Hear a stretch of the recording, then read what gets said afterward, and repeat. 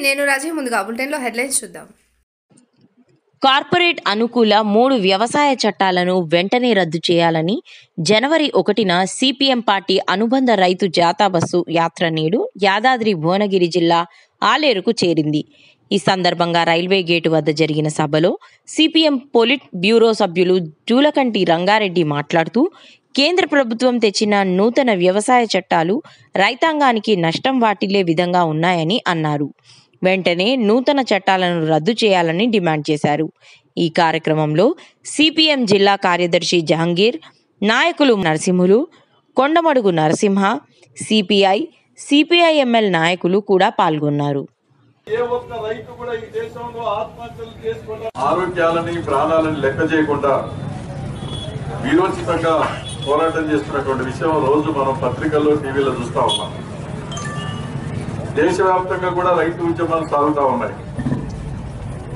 దానికి మద్దతుగా తెలంగాణ రైతు సంఘం ఆధ్వర్యంలో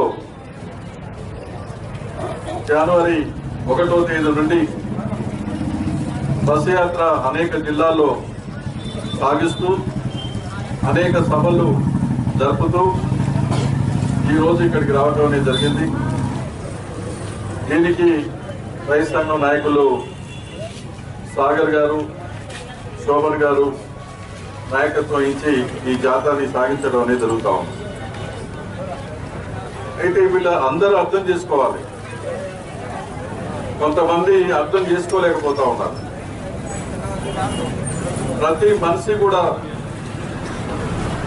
కేంద్ర ప్రభుత్వం తీసుకొచ్చినటువంటి చట్టాల విషయంలో దాంట్లో ఉన్నటువంటి మంచి ఏంటి చెడు ఏంటి చెప్పేసి ఆలోచన చేయాలి.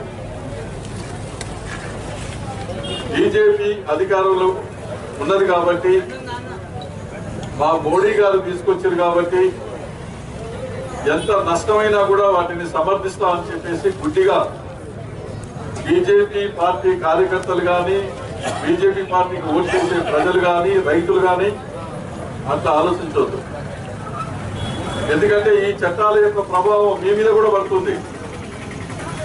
బీజేపీ పార్టీ జెండా పట్టుకున్న వాళ్ళ మీద బీజేపీ పార్టీ వెనకాల ఉన్న రైతుల మీద ఈ కష్టాలు నష్టాలు తప్పనిసరిగా వాళ్ళ మీద కూడా పడుతుంది తప్ప మనకు కాదు. అందుకనే ఈ పార్టీ ఆ పార్టీ ఆ సంఘం ఈ సంఘం అని కాకుండా దేశంలో ఉన్నటువంటి మొత్తం రైతుల